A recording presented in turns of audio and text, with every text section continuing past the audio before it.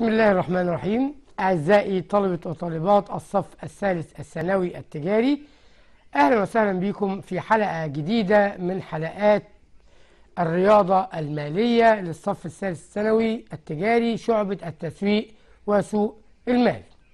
على قناتكم المفضلة قناة مصر للتعليم الفني. هنستكمل مع بعض ما بدأناه في منهج الرياضة المالية وكنا قلنا في الحلقات السابقة موضوعات الرياضة المالية وبدأنا بموضوع العلاقة بين الفايدتين وخدنا ست حالات في العلاقة بين الفايدتين وكلها كانت من امتحانات سابقة وعرفنا القوانين بتاعة العلاقة بين الفايدتين وعرفنا إزاي بنجيب المعدل عن طريق فيه 2 ناقص فيه 1 على فيه 1 في 100 أو لو كان مديني الفرق في المسألة ما تدورش على فيه 2 وفيه 1 خد الفرق على طول يبقى المعدل بيساوي الفرق على فيه 1 في 100 وبعدين قدرنا نحصل على المبلغ وقلنا المبلغ بتاعنا ألف بيساوي فيه واحد على عين من مية أو فيه واحد على عين في مية. وعرفت إن عشان أجيب المبلغ لازم أجيب فيه واحد. فعلشان كده لو كان مديني مجموع فوائد بسيطة فكنت بقول له فيه واحد بتساوي مجموع الفوائد البسيطة على عددها. دي كانت آه الحالات اللي خدناها في مادة الرياضة المالية على موضوع العلاقة بين الفائدتين. وعرفنا بعد كده إن في بعض الحالات المهمة آه زي الجملة المركبة. وعرفت إن الجملة المركبة عندي آه عبارة عن يا إما أجيبها بالجداول المالية أو بالآلة الحاسبة. وعرفنا إن بالجداول المالية الجملة المركبة هنستعمل الجدول الأول. يبقى الضيف بتاعنا في موضوع الجملة المركبة في الباب الأول هو الجدول الأول. وعرفت إن معايا خمس جداول مالية. درسنا منها في المرة اللي فاتت الجدول الأول فقط. وعرفت إن الجدول الأول وظيفته شغلته في الرياضة المالية إنه بيجيب الجملة المركبة لمبلغ. يعني واحد وعين من مية دي اللي هي الجملة المركبة للجنيه. واحد وعين من مية اللي هي الجملة المركبة للجنيه. أما عين من مية بس اللي هي فايدة الجنيه. لذلك لما اشتغلنا في الجملة المركبة قلنا في الحلقات اللي فاتت إن الجملة المركبة زي ما إحنا شايفين بتشو بنقول إن الجملة المركبة بتاعتنا بنقول لو بالجداول المالية بالجدول الأول عرفت إن الجملة المركبة ج بيساوي أصل المبلغ في مستخرج الجدول الأول أمام نون من وحدات الزمن وأسفل عين في المية. فده كنا بنسميه مستخرج الجدول الأول. ودي لما اتفقنا مع بعض إن أنا هجيبها بمستخرج الجدول الأول لما يكون مديني المعدل والمدة موجودين في الجدول الأول. طيب إذا كان المعدل أو المدة غير موجود بالجداول إيه اللي هيحصل؟ أقول لك على طول بمنتهى البساطة نستخدم الآلة الحاسبة. ده الكلام اللي إحنا قلناه الحلقة اللي فاتت. وقلت الآلة الحاسبة بقى الجملة هتساوي ألف في واحد وعين من مية أس نون. ده قانون الآلة الحاسبة.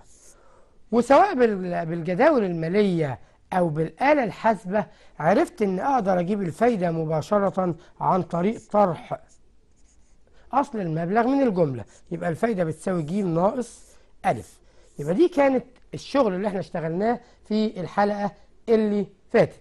علشان كده عايز اراجع لحضرتك على بعض الحاجات عن الحلقة اللي فاتت. عاوزين نقول إن في بعض الموضوعات السهلة البسيطة اللي بتكون موضع امتحان ودي شفناها في حلقات كتير في امتحانات سابقة كتير جدا قبل كده. فعلشان كده عاوزك على طول تركز معايا في بعض التمارين السهلة البسيطة وكلها تمارين من الكتاب المدرسي ومن امتحانات سابقة جميلة جدا وأفكارها سهلة جدا. تعال نشوف معايا كده أول تمرين بيقول لنا أودع شخص 5000 جنيه أو 50000 جنيه في بنك. أنا قلت لك وأنت بتقرأ التمرين دايما دايما طلع مست... معطيات المسألة وأنت بتحل التمرين. هنا كلنا عارفين إن المبلغ رمزه إيه؟ ألف برافو عليك. يبقى لما أقول لك أودع شخص خمسين ألف جنيه تقول لي الألف بخمسين ألف جنيه. حضرتك رحت البنك حطيت خمسين ألف جنيه. في بنك بمعدل فايدة مركبة يبقى المعدل بتاعنا اللي كنا بنسميه عين قلنا بكام في المية؟ بتمانية. في المية يبقى المعدل بتاعنا تمانية في المية. وذلك لمدة 12 سنة. خد بالك كده المدة اسمها إيه؟ اسمها نون. بكام؟ ب 12 سنة. كده معايا مبلغ معايا معدل معايا مدة. عاوز مني إيه؟ أقول لك بمنتهى البساطة أقدر أحل الجملة المركبة والفوائد المركبة في نهاية المدة. إزاي نحل الكلام ده؟ أقول لك أول حاجة لما هتبص في الامتحان السابق اللي كان فيه التمرين ده أو في الكتاب المدرسي هتلاقي عندك الجداول المالية الجدول الأول. موجود فيها معدل 8% وموجود فيها آه 12 سنة. يبقى المدة والمعدل موجودين في الجداول المالية. ما تتعبش نفسك واكتب قانون الجداول المالية السهل الجميل. هتفتكر كده قانون الجملة المركبة بالجداول المالية حضرتك قلت لي أصل المبلغ في مستخرج 12 سنة تحت 8% من الجدول الأول. من الجدول الأول. يبقى ركز معايا إن الجدول الأول هو الضيف الجميل اللي بيحل مشكلة الجملة المركبة دايما. طيب تعال نعوض في الكلام ده. قلت لي أشيل الألف وأحط قيمته اللي هي كانت 50000 في طلع مستخرج الجدول الأول كده أنا معاك أهو لو بتفتح الكتاب بتاعك هتلاقي الجملة بتاعتك بتساوي إيه؟ أو مستخرج الجدول الأول تحت 8% قدام 12 سنة يطلع 2 علامة 5 1 8 1 7 0 1 بالآلة الحاسبة وبراحتك خالص وأنت بتحسب. ما تستعجلش وقت الامتحان إن شاء الله هيكفيك ولكن حل التمرين بهدوء علشان تضمن أدق النتائج. هتمسك الآلة الحاسبة وتقول لي خمسين ألف في اتنين علامة خمسة واحد تمانية واحد سبعة صفر واحد يساوي. على طول بالظبط وبالتحديد ألف تسعمية وتمانية علامة خمسة واحد. كده انت قدرت تحصل على الجملة المركبة. طيب بعد ما حصلت على الجملة المركبة وكان طالب حاجتين طالب الجملة وطالب الفوائد. أقول له تمام أنا جبت الجملة أقدر أجيب الفوائد المركبة في نهاية ال 12 سنة ودايما قلت لك استخدم القانون السهل البسيط. الفوائد بتساوي الجملة ناقص المبلغ.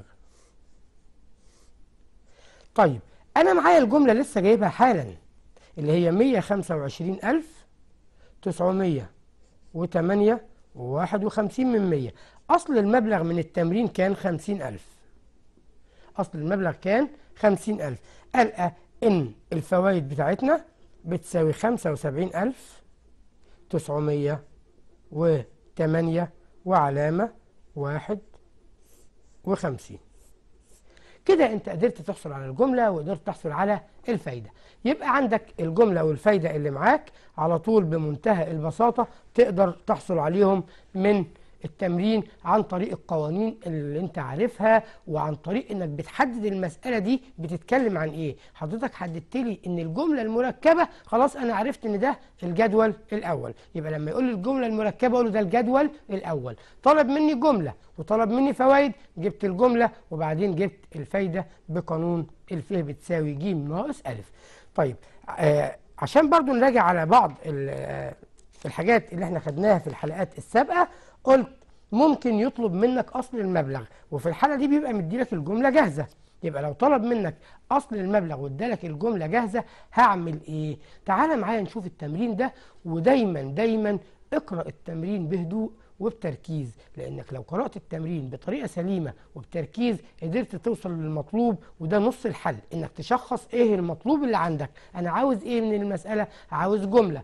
طيب يبقى هشتغل بقانون الجملة. المعدل والمبلغ موجودين. يبقى هشتغل بقانون الجملة بمستخرج الجدول الأول. طب لو المعدل والمبلغ مش موجودين يبقى هشتغل بقانون الجملة بالآلة الحاسبة.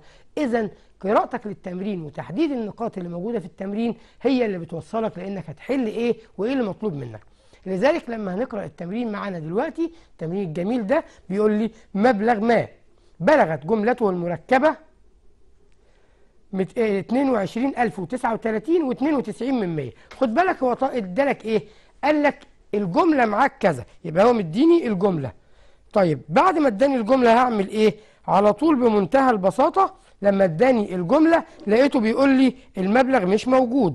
طيب هجيب المبلغ ده إزاي؟ تعالوا نشوف مع بعض. أول حاجة عندي لما حضرتك بتقول لي المبلغ مش موجود أقوم أنا قايل إن المبلغ أهو تحتيه علامة استفهام.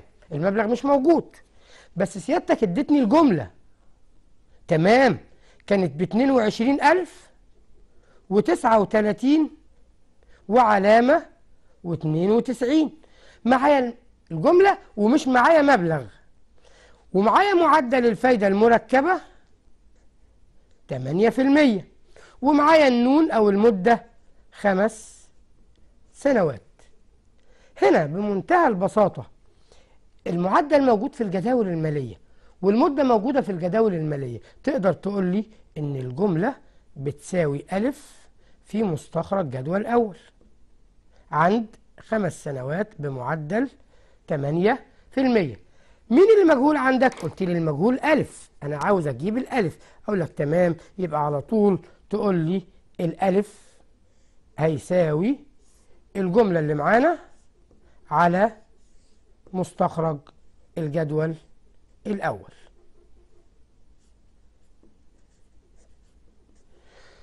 معاك الجملة بكام؟ قلت لي معايا الجملة ب 22000 و39 وعلامة 92 مستخرج الجدول الأول أسفل 8% وأمام خمس وحدات زمن أو النون بتساوي خمسة على طول هتجيب المستخرج هتلاقي إن المستخرج ده كان بواحد علامة أربعة ستة تسعة تلاتة اتنين تمانية.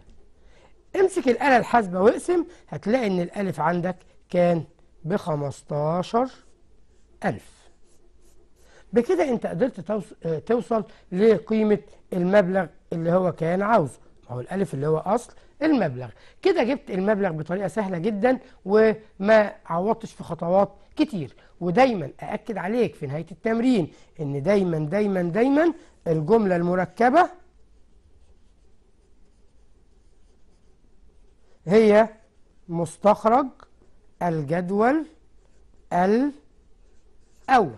أوعى تنسى أقول لك جملة مركبة يبقى جدول أول. أقول لك جدول أول يبقى جملة مركبة. يبقى دايما الجملة المركبة هي مستخرج الجدول الأول. يبقى تعالى معايا بقى تابع كده اللي إحنا قلناه. إحنا قدرنا نحصل على رقم واحد الجملة المركبة بالمستخرج الجدول الأول. وبعدين غيبنا منها المبلغ بتاعها.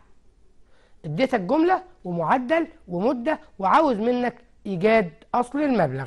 إيه اللي هيحصل هنا؟ هتقول لي الجملة المركبة بتساوي ألف في مستخرج جدول أول يبقى لو أنا عاوز ألف هقسم الجملة المركبة على مستخرج الجدول الأول. برافو عليك. تاني لا لما القانون الأصلي بيقول إيه؟ الجملة المركبة بتساوي أصل المبلغ في مستخرج الجدول الأول. طيب لو أنا بقى طالب أصل المبلغ تقول لي أصل المبلغ بيساوي الجملة المركبة على مستخرج الجدول الأول. ده كلام سهل وبسيط جدا جدا. طيب عندي بعض التمارين كمان. على المبلغ إيجاد المبلغ وان هو يديني فايدة. اداني فايدة وعاوز مني أوجد المبلغ. هعمل إيه في الحالة دي؟ تعالى ركز معايا والتمرين ده من التمارين المهمة جدا جدا لأن بعض طلابنا الشطار وطالباتنا الشطار بيبتدي يحفظ المسألة. آه مديني جملة وعايز مبلغ يبقى الألف بيساوي جيم على مستخرج الجدول. الأول ده كلامك سليم جدا. بس لو ادالك فايدة وطلب المبلغ القانون اللي معاك للأسف مش هينفع يتعمل كده. فتعالى شوف معايا لو اداني فايدة وطلب المبلغ. هنعمل إيه في الحالة دي؟ الموضوع سهل وبسيط جدا جدا جدا. وهنشوف هيتحل إزاي بمنتهى البساطة. تعال شوف التمرين بيقول لي مبلغ ما. اذا المبلغ اللي عند حضرتك مجهول. استثمرها بمعدل فايدة مركبة 7% كل ست شهور. أدي أول مشكلة قابلتني إن المعدل غير سنوي. معدل ده معدل جزئي. طب عاوز إيه؟ قال لي أول حاجة أنت قلت لي المبلغ مجهول. أهو. ومديني معدل بسبعة في المية كل ست شهور. وذلك في نهاية خمس سنوات. طيب لما يكون عندك معدل غير سنوي زي ده ما تقدرش تكمل مسألتك إلا لما تعدل وحدات الزمن. إزاي؟ هجيب حاجة اسمها مرات الإضافة اللي هي ميم. مرات الإضافة. الميم بتساوي إيه؟ بتساوي شهور السنة اللي هم 12 شهر على شهور المعدل. اللي هم 6 شهور. يبقى هنا الميم كام مرة؟ قلت لي مرتين. تقدر تجيب وحدات الزمن؟ عبارة عن النون في ميم. عبارة عن النون في ميم. طيب النون عندي بكام؟ قلت لي بخمسة. والميم لسه طالعة بكام؟ باتنين. يبقى وحدات الزمن هتكون بعشر وحدات زمن. يبقى إحنا عدلنا وجبنا أو خلينا النون بقت عشرة. افتكر كده بقى هو مديلك إيه؟ ده كان مديني الفايدة. كان مديني الفايدة ب 8704 وعلامة 36 خد بالك ما اداش جملة. أعطى فايدة. وطالما ادى فايدة لازم تفتكر قانون الفايدة كده معايا؟ معايا ناس شاطرة. جدا جدا جدا. وفاكرة قانون الفايدة لما راجعناه في الحلقات اللي فاتت وقلنا الفايدة بتساوي أصل المبلغ في مستخرج الجدول الأول ناقص واحد ليه ناقص واحد؟ هو مستخرج الجدول ده مش كان واحد وعين؟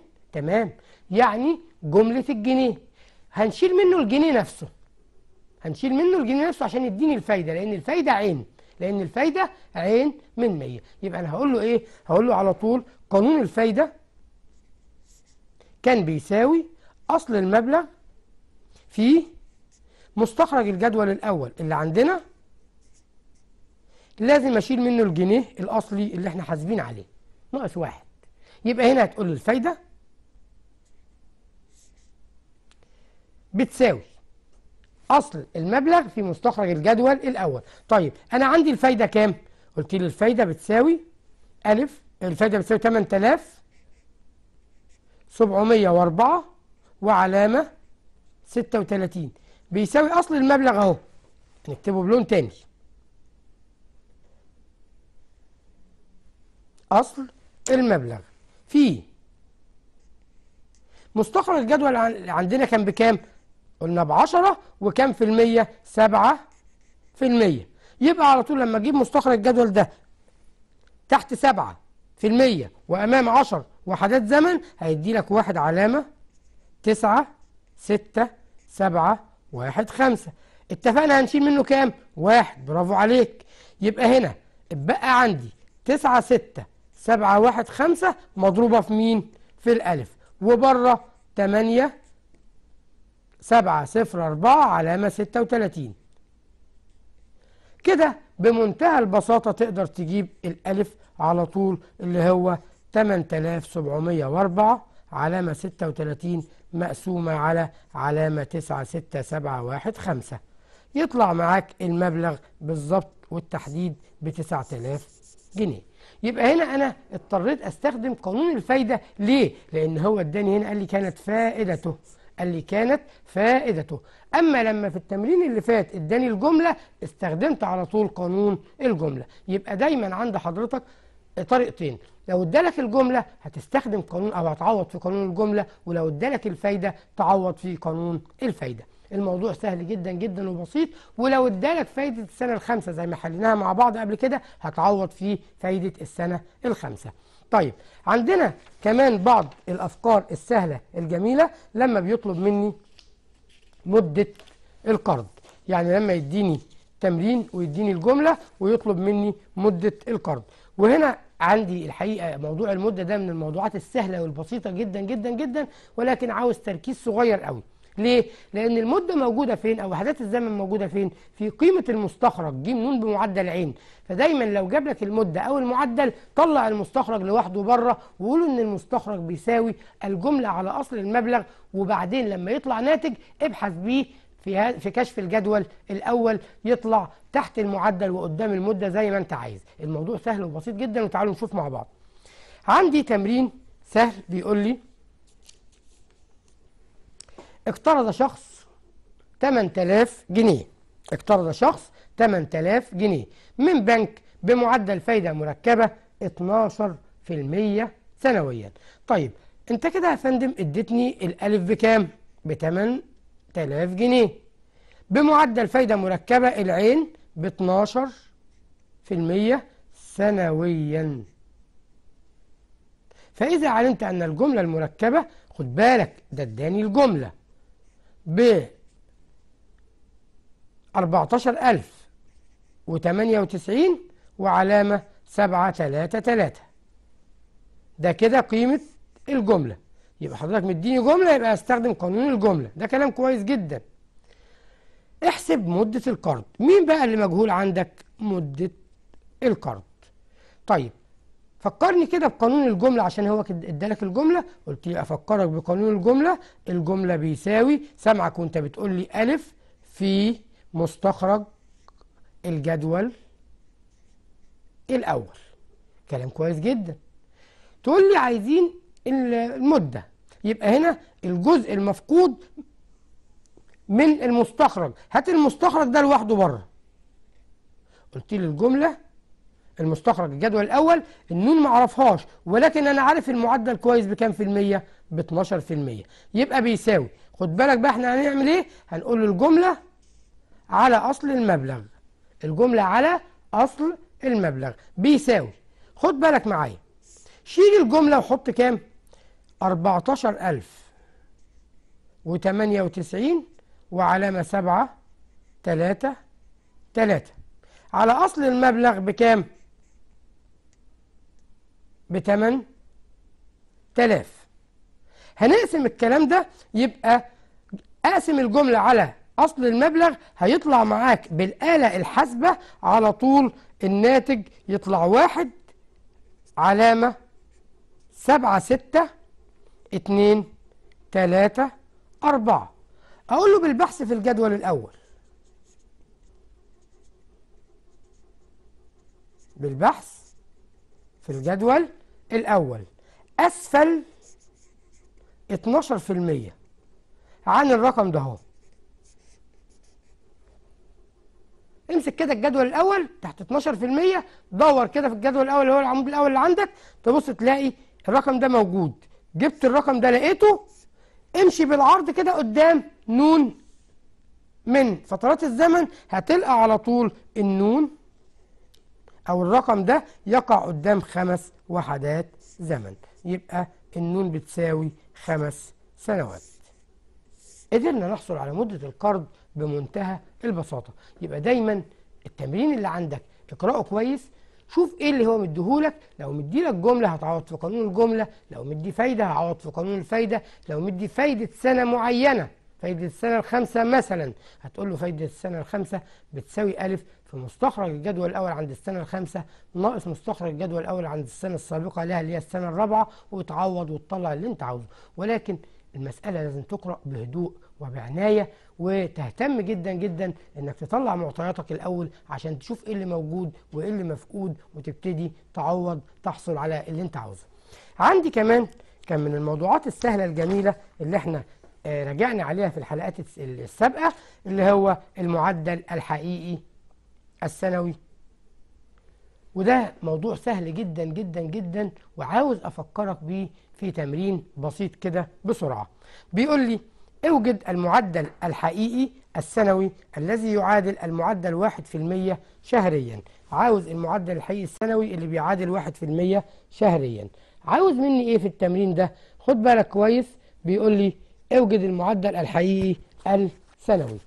المعدل الحقيقي السنوي هنا لو هنركز مع بعض هو بيقول لي يعادل معادل معدل واحد في المية شهريا.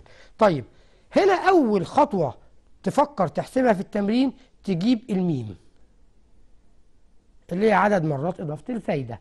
الميم هنا بتساوي شهور السنة اللي هم كام؟ 12 على شهور المعدل اللي هو واحد علشان كان قال لي إن هو شهريا. يبقى 12 على الواحد فيها 12 مرة. يبقى الميم 12 مرة.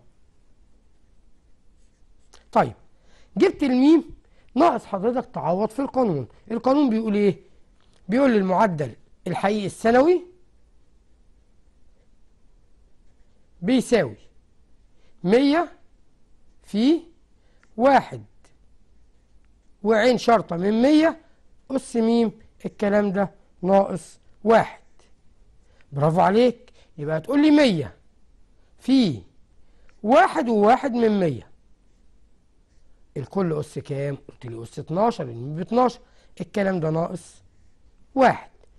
يلا كده مع بعض بالآلة الحاسبة هتمسك آلتك وتعوض تلاقي إن المعدل الحقيقي السنوي يطلع 12 علامة 36 في المية. يبقى أنت قدرت تحصل على المعدل الحقيقي السنوي لهذا التمرين. في تمرين كمان طالب مني اوجد المعدل الحقيقي السنوي الذي يعادل المعدل 6% كل نصف سنة. خد بالك كويس جدا في التمرين ده. هو بيقول لي 6% كل نصف سنة. طيب هي النصف دي بتقسم السنة لكام مرة؟ برافو عليك. سامعك وانت بتقول لي يبقى المين بتساوي 2 أما لو كان قال لك ربع يبقى قسمت السنة لأربع مرات. لو قال لك تلت يبقى قسمت السنة لثلاث مرات. يبقى كده النصف هنا قسمت السنة لكام؟ لاتنين. تعالى بقى نعوض تقول لي المعدل الحقيقي. خلاص كتبنا القانون قبل كده بيساوي مية في واحد وستة من مية. أس كم مرة؟ قلت لي أس مرتين. ناقص واحد وتبتدي تعوض تعويضك المباشر بالآلة الحاسبة.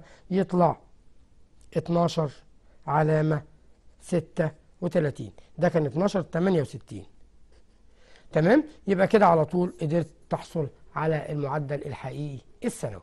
طيب عندي برضو بعض الأفكار السهلة الجميلة لما يطلب المعدل الحقيقي الربع سنوي. لما يطلب معدل حقيقي ربع سنوي. هعمل إيه في الحالة دي؟ هقول لك نعمل إيه. بيقول لي اوجد المعدل الحقيقي الربع سنوي. خد بالك هنا المعدل الحقيقي إيه؟ ربع سنوي. ربع سنوي. يبقى على طول لما تقول لي معدل ربع سنوي يعني بيقسم السنة لأربع فترات أو أربع مرات. يبقى المعدل الميم بكام؟ بأربعة. طيب هو عايز معدل حقيقي ربع سنوي. هقول له هنا إيه؟ هو مدي لك معدل حقيقي مدي لك معدل سنوي. أقول له أنا على طول بمنتهى البساطة تقول لي المعدل الربع سنوي هيساوي 100 في الجذر الرابع لواحد والمعدل اللي عندنا. الجذر الرابع لواحد والمعدل. المعدل كان كام؟ 12 بس بعد ما تخلص يبقى يطرح واحد. يبقى 100 في الجذر الرابع لواحد و12 مطروحا من الناتج واحد. يطلع على طول بالظبط وبالتحديد 2 علامة 87 في المية. كده انت جبت المعدل الربع سنوي. طبعا ده ربع سنوي. ناخد كمان تمرين عليها اوجد المعدل الحقيقي الربع سنوي. خلاص طالما قال لك ربع سنوي يبقى الميم بأربعة. هتقول لي بقى المعدل الربع سنوي بيساوي 100 في جذر. الميم بأربعة. واحد والمعدل السنوي اللي عندك بكام؟ ب 11 الكلام ده ناقص واحد. على طول بالآلة الحاسبة يطلع 2 و64 من 100 في المية ربع سنوي. أو كل ثلاث شهور. ده كان مراجعة على موضوعات الحلقات اللي فاتت وقدرنا نلخص أجزاء كويسة جدا من المنهج في الباب الأول عن عن الجملة المركبة أو عن الفايدة المركبة أو عن إيجاد المبلغ بدلالة جملة أو إيجاد المبلغ بدلالة فايدة أو إيجاد المبلغ بفايدة سنة خمسة أو المعدل الحقيقي السنوي أو المعدل الحقيقي الربع سنوي عندي كمان بداية الباب الثاني بيتكلم في موضوع مهم جدا جدا جدا وتعالوا نشوفه مع بعض. الموضوع ده اللي هو إيه؟ اللي هو القيمة الحالية المركبة والخصم الصحيح المركب. يبقى لما أجي أتكلم عن آآ القيمة الحالية المركبة اللي هي خصم واستبدال الديون بفايدة مركبة على طول هنقول إيه؟ هنقول أول حاجة لازم أعرف بعض التعريفات الهامة. بعض التعريفات الهامة. الموضوع بتاعنا الخصم والقيمة الحالية المركبة النهاردة الفصل الأول من الخصم واستبدال الديون. على طول عرفت إيه هو الخصم أو أسأل إيه هو الخصم. أقول لك قبل ما أقول لك إيه هو الخصم لازم تكون عارف إن كل كمبيالة أو كل سند إذني أو كل دين بيكون ليه قيمة اسمية وقيمة حالية. يعني لو حضرتك هتاخد قرض النهارده القرض ده ليه قيمة اسمية ولتكن مئة ألف جنيه. ولتكن مئة ألف جنيه. القرض ده ليه قيمة اسمية وقيمة مستقبلية وقيمة حالية. يبقى دايما أي دين ليه قيمة مستقبلية اللي هي الجملة. وليه قيمة حالية بس بشرط إنه يدفع قبل موعد استحقاقه. مش فاهمين؟ طب تعالى بالراحة تاني نقولها. لو أنا عليا كمبيالة ب 10000 جنيه تستحق 2025 تستحق سنة 2000 وكام؟ و25 ال 10000 جنيه دول اسمهم القيمة الاسمية. يبقى إحنا اتفقنا مع بعض ان الكمبيالة اهي قيمتها بكام؟ ب 10000 جنيه. تستحق سنة 2025 ركز معايا كده. 2025 لسه ما جاتش. لسه السنة دي ما جاتش. تمام؟ قمت أنا جاي في 2021 قبل موعدها بأربع سنوات وقلت له أنا عاوز أسدد الكمبيالة دي بس أكيد هستحق خصم. قلت لي يبقى أنت كده هتدفعها حاجة اسمها قيمة حالية ولتكن مثلا 8000 جنيه. ولتكن كام؟ 8000 جنيه. برافو عليك هو ده اللي أنا عاوز أسمعه منك سامعك وأنت بتقول لي ده القيمة الحالية أقل. من القيمة الإسمية. لأن دي كانت كام؟ 10000 والقيمة الحالية بقت كام؟ 8000 عارف الفرق بين القيمة الحالية والقيمة الإسمية؟ اللي هو كام؟ 2000 هو ده اللي هنسميه الخصم. هو ده اللي هنسميه الخصم. يعني معنى كلام حضرتك إن الخصم هو الفرق بين القيمة الحالية والقيمة الإسمية؟ بالظبط. طب إيه هي القيمة الإسمية بقى؟ تعال نشوفها مع بعض. على الشاشة نعرف يعني إيه القيمة الإسمية ويعني إيه القيمة الحالية ويعني إيه الخصم ويعني إيه تاريخ الخصم ويعني إيه تاريخ الاستحقاق. يبقى اتفقنا مع بعض إن كل دين له قيمة إسمية وقيمة حالية. إمتى تبقى قيمة إسمية؟ لو اتدفع في موعد استحقاقه. وإمتى تبقى قيمة حالية؟ لو اتدفع قبل موعد استحقاقه.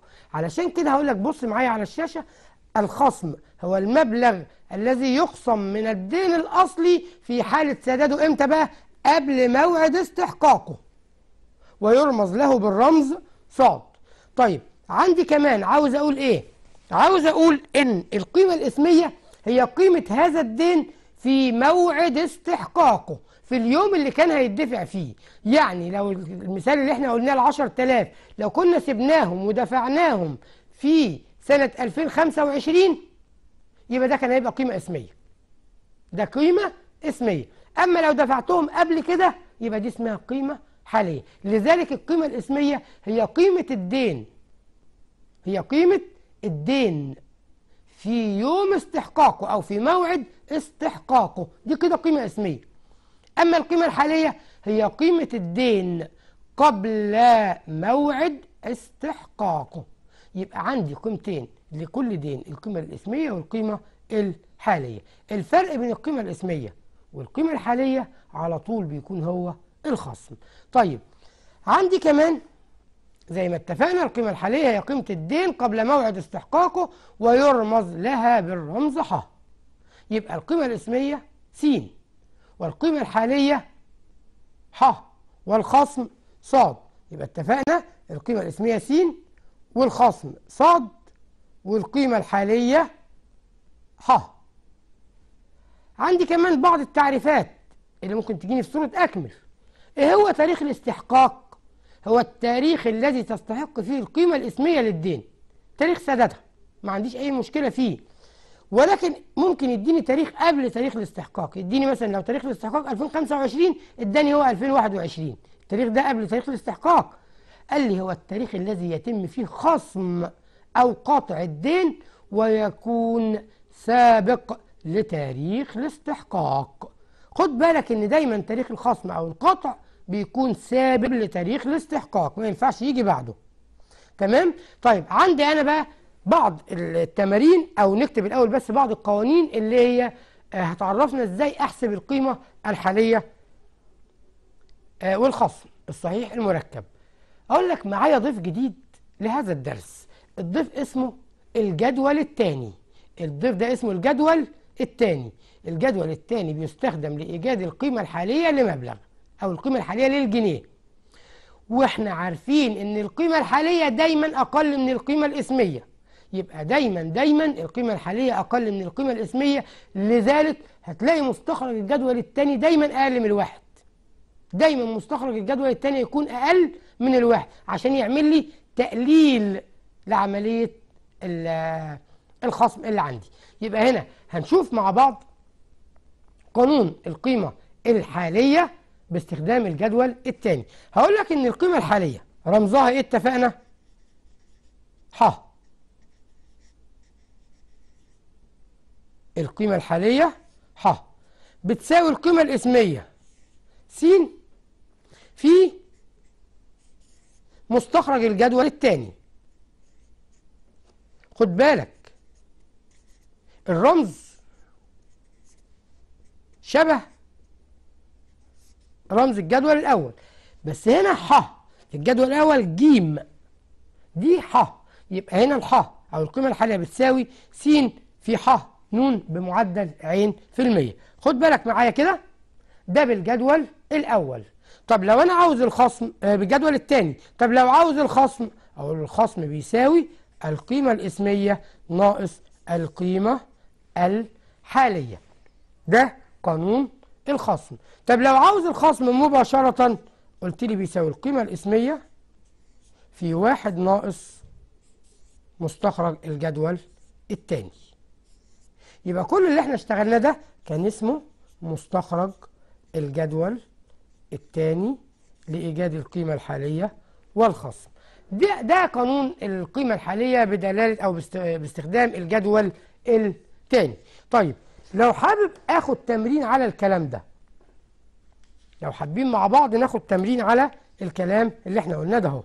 تقول لي كمبيالة قيمتها الإسمية عشرين ألف جنيه كمبيالة قيمتها الإسمية كام؟ عشرين ألف جنيه. خد بالك زي ما إحنا متفقين مع بعض كده دايما كل كلمة في التمرين أطلع معناها كمعطيات. كمبيالة قيمتها عشرين ألف جنيه. أقول له يبقى إذن القيمة الإسمية بتساوي عشرين ألف جنيه. استحقت أو خصمت قبل موعد استحقاقها بمدة تسع سنوات. بمدة كام سنة؟ تسع سنوات. يبقى دي مدة الخصم اللي عندي تسع سنوات. وذلك بمعدل خصم صحيح مركب 11% سنويا. عاوز مني إيه؟ عاوز القيمة الحالية للمر... للكمبيالة وعاوز مقدار الخصم. أقول له تمام نبدأ الأول نشوف أنت عاوز القيمة الحالية للكمبيالة. القيمة الحالية لهذه الكمبيالة بتساوي السين في مستخرج الجدول الثاني أمام تسعة وأسفل 11 وأكد عليك تاني إن ده مستخرج الجدول الثاني قلت لي يبقى الحاء بتساوي. السين بعشرين ألف. مستخرج الجدول الثاني تحت 11 قدام 9 سنوات يطلع علامة 3 9 0 9 2 4 ده العمود الثاني أو الجدول الثاني خلاص مالكش دعوة بالجدول. الأول. لو عاوز تستخدم الجدول الأول كنت هتقسم 20 على مستخرج الجدول الأول. إنما إحنا بنجيبها بمستخرج الجدول الثاني بمنتهى البساطة. يطلع على طول القيمة الحالية لهذا الدين اللي هو العشرين ألف يطلع القيمة الحالية بتاعته سبعة آلاف تمنمية وتمنتاشر ونص. لاحظنا إن القيمة الحالية أقل من القيمة الإسمية. مش بس كده ده أنا أقدر أجيب قيمة الخصم. الخصم اللي هو الصاد بيساوي القيمة الاسمية ناقص القيمة الحالية. يبقى القيمة الاسمية بتاعتي كانت بعشرين ألف والقيمة الحالية لسه طالعة بسبعة آلاف تمنمية وتمنتاشر وكام؟ ونص. يطلع معاك بالظبط وبالتحديد تمسك الآلة الحاسبة يطلع اتناشر ألف مية واحد وتمانين اتناشر ألف مية واحد وتمانين ونص. قدرنا نحصل على قيمة الخصم.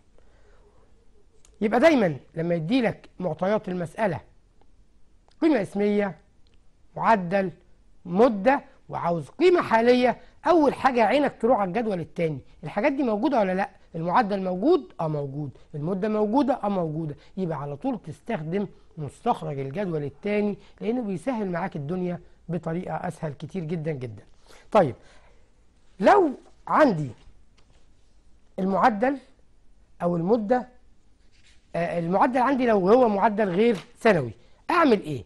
أقول لك طبعا بنستخدم مرات الإضافة لتعديل وحدات الزمن وبعد كده نشوف هي موجودة في الجداول المالية ولا مش موجودة في الجداول المالية. تعالى معايا وشوف. بيقول لي كمبيالة قيمتها الإسمية 10000 جنيه. يبقى حضرتك اديتني القيمة الإسمية بكام؟ ب 10000 جنيه. تستحق الدفع في واحد واحد 2020 قدمت للبنك لخصمها في 1 7 2016 خد بالك أنا معايا تاريخ استحقاق وتاريخ خصم. عشان اكد عليك في الجزء النظري اللي إحنا قلناه أنا معايا تاريخ استحقاق اللي هو 1 1 2020 ومعايا تاريخ خصم اللي هو 1 7 2016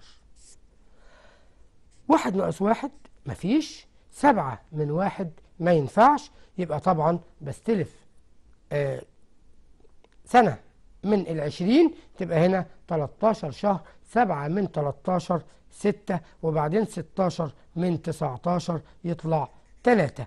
يبقى هنا المدة بتاعتنا أصبحت ثلاث سنوات. ونصف أو ست شهور. يبقى دي تلاتة ونصف سنة. على طول أشوف المعدل كان غير سنوي خمسة في المية كل ست شهور. يبقى المعدل اللي عندي خمسة في المية كل ست شهور. أقول له تمام أقدر أجيب الميم 12 شهر في السنة على الست شهور بتوع المعدل يبقى الميم مرتين. نقدر نعدل وحدات الزمن يبقى الثلاث سنين ونص ده هم لما اضربهم في اتنين يطلع بسبع وحدات زمن. يبقى دي النون الجديدة اللي هشتغل عليها. فكرني بقى كده بالقانون. الأول السبعة موجودة في الجدول والخمسة موجودة في الجدول. تقدر تقول لي إن القيمة الحالية بتساوي القيمة الإسمية في مستخرج الجدول الثاني بس أمام سبع سنوات وأسفل خمسة في المية. وأفكرك إن ده بيجي من مستخرج الجدول الثاني السين كانت عندي بعشر تلاف مستخرج الجدول الثاني اللي عندي هتلاقيه علامة سبعة واحد صفر ستة تمانية واحد تلاتة. هتضرب مية وستة وعلامة تمانية وستين. جبت القيمة الحالية. تقدر تجيب الخصم بمنتهى البساطة عن طريق س ناقص ح وتحسبها بالآلة الحاسبة علشان أقدر أديلك تمرين تاني قبل نهاية حلقتنا. طيب خد بالك معايا بقى من التمرين اللي جاي ده. ده تمرين سهل جدا جدا جدا.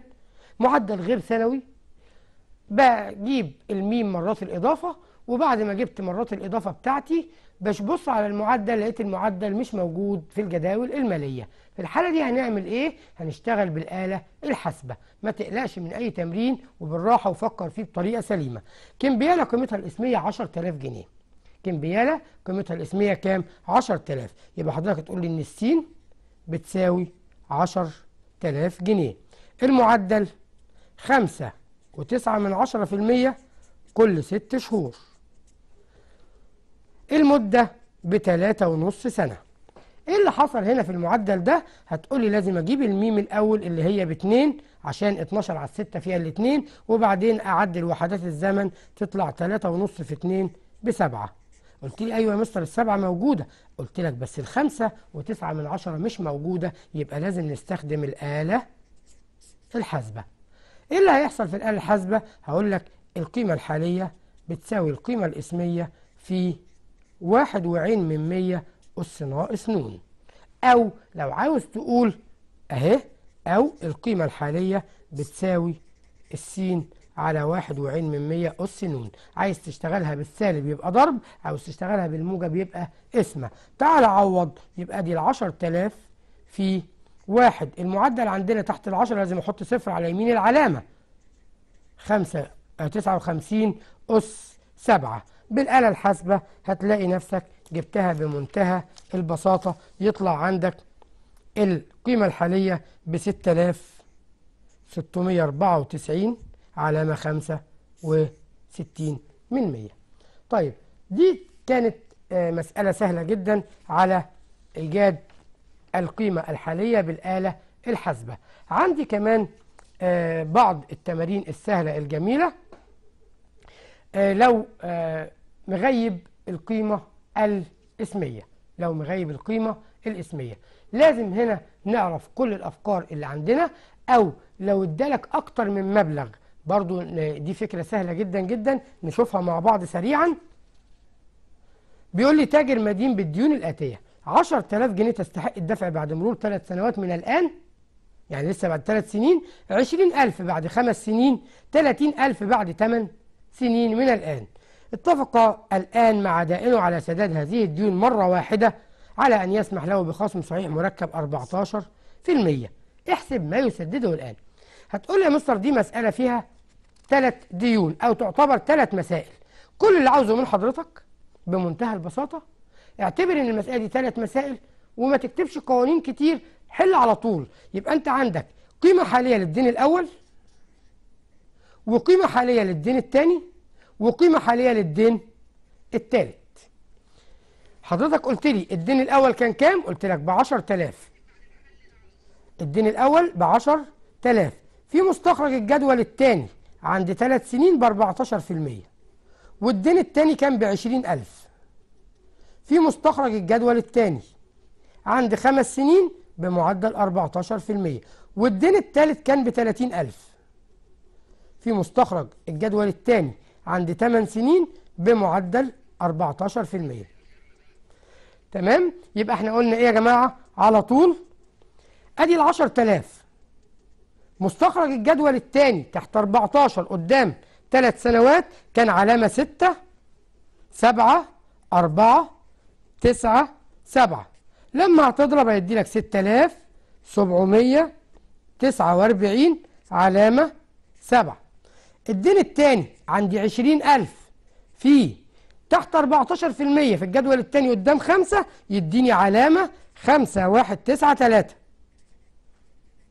6 8 اضرب يدي لك 10387 و37 من 100 آخر حاجة ال 30000 في مستخرج الجدول الثاني تحت 14 قدام 8 يطلع علامة 53 55 9 اضربهم يطلع 10516 علامة 7 خد بالك إحنا كده خلصنا التمرين. باقي حاجة صغيرة إنك تجمع الثلاث نواتج اللي طلعوا معاك. هتلقى الثلاث نواتج لما تجمعهم يطلع 27000 653 و 86 من 100 عارف الرقم ده؟ هو مجموع ما يسدده الآن اللي هو القيمة الحالية للثلاث مبالغ. وبكده يبقى الحمد لله قدرنا نجمع أفكار آه، بداية القيمة الحالية والخصم وإن شاء الله على وعد وأمل باللقاء على قناة مصر للتعليم الفني دمتم في حفظ الله وأمنه. كان معكم فتحي عبد الكريم من وزارة التربية والتعليم.